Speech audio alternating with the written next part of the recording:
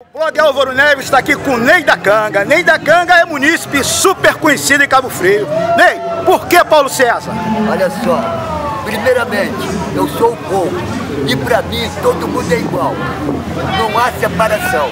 Só que é o seguinte, para mim escolher um candidato para apresentar o povo de Cabo Frio, eu tive muita inteligência, porque hoje todo mundo promete e não cumpre. Povo está cansado de promessas enganosas. Paulo César não tem grupo político. E a índole do Paulo César é uma índole boa. E eles estão querendo queimar Paulo César, espalhando na cidade que Paulo César é candidato de Araí. É mentira. Eu sou desde a canga, eu comprovo isso. Não caia nessa procatua política. Paulo César não tem ele está formando um grupo agora. Não vamos queimar a imagem de Paulo César com a política que muda.